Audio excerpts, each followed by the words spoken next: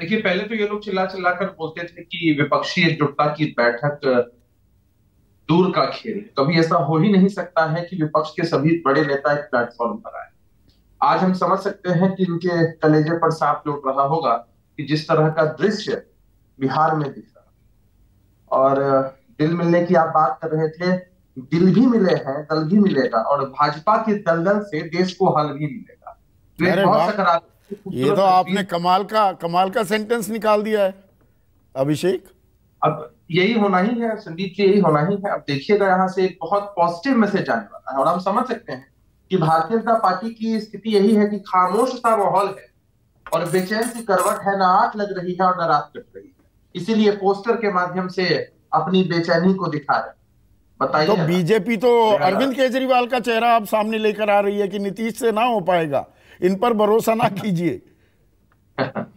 अरे भारतीय जनता पार्टी को किसी और चेहरे पर भरोसा हो भी रहा है, यह भी बहुत बड़ी बात। वरना इन लोगों ने तो हमेशा चेहरे की ही राजनीति की न मुद्दों की राजनीति की है, न देश की राजनीति की है, बस चेहरा दिखा दिखा कर लोगों को बरगलाया है, लोगों को भरमाया है। बहुत सारे ऐसे मुद्दे हम मानते हैं कि बहुत सारे प्रदेशों में संदीप की चुनौतियाँ हैं, लेकिन बात करने से ही तो बात बनती है। बैठक में सभी लोग आए हैं कितना सकारात्मक संदेश गया है? आप सोच लीजिए कांग्रेस पार्टी से लेकर आम आदमी पार्टी और सभी दल के लोग यहाँ पर सम्मिलित हुए हैं। और जब सब लोग एक बार बैठते हैं ना बातचीत करते हैं तो कोई ना कोई हल ज़रूर निकलता है। लोकतंत्र पर संविधान पर अगर खतरा होता नहीं है नहीं जो तो हल की बात है हल के लिए अभिषेक इंटरप्ट कर रहा हूँ हल के लिए विकल्प देना होता है ना। एक रोड मैप दिखाना होता है यहाँ पर शिवम यही सवाल पूछ रहे हैं कि बस ये मोदी से घृणा है नफरत है मोदी विरोध के चलते अपना मजबूरी का नाम ये गठबंधन बना रहे हैं। विकल्प क्या दे रहे हैं आप?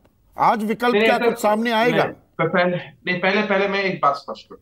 हमें मोदी जी से तनिक भी घृणा नहीं। लोकतंत्र में सार्वजनिक जीवन में हम नीतियों का विरोध करते हैं मुद्दों के आधार पर विरोध करते हैं। व्यक्तिगत कोई दुश्मनी नहीं है। हम लोग बहुत आदर और सम्मान करते हैं। आपने देखा है हमारी पार्टी अन्य किसी भी विपक्षी पार्टी के नेता का अगर आप आचरण देखेंगे तो सम्मान हम लोग एक दूसरे को ट्रीट करते हैं। मोदी जी का विरोध नीतिगत क्यों हो रहा है? क्योंकि वो सत्ता में है और ये निरंकुश सत्ता है। ऐसी सत्ता है जिसको देश के बुनियादी मुद्दों से कोई मतलब नहीं है। और जो रोडमैप है वो शिवम जी को तो नहीं बताएँगे। या मीडिया के माध्यम से तो नहीं हल्ला करते चले। रोडमैप तो तब बनेगा ना जब सभी लोग बैठ जाए। सब लोग बैठ करके रोडमैप तय करेंगे बैठने के बाद जो रोडमैप होगा वो देश की जनता के सामने आप लोगों के माध्यम से होगा ही होगा। तो इतनी बेचैनी क्यों है? अगर आपको सचमुच भरोसा है अपने चेहरे पर, अपनी नीति पर, नियत पर, अपने संगठन पर तो छोड़ दीजिए ना विपक्षी एकजुटता की बात।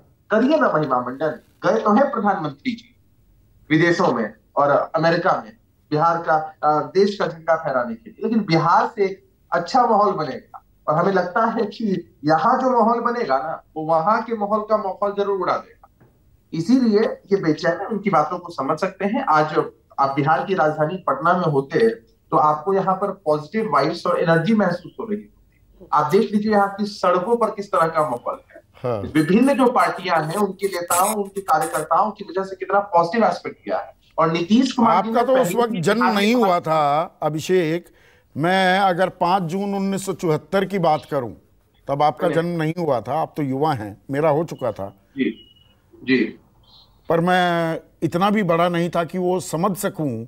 तो आप या ये कहने की कोशिश कर रहे हैं, पाँच जून उन्नीस सौ चौहत्तर, जेपी की अगुवाई में जो विपक्षी दल एक साथ पटना में जुटे थे, वैसा ही माहौल बना दिया है आपने?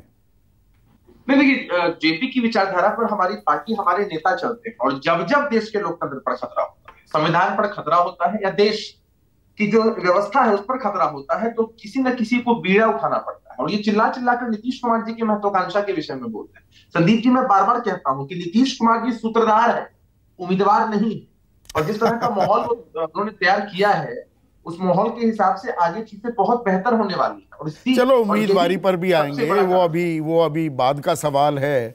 पर अमिताभ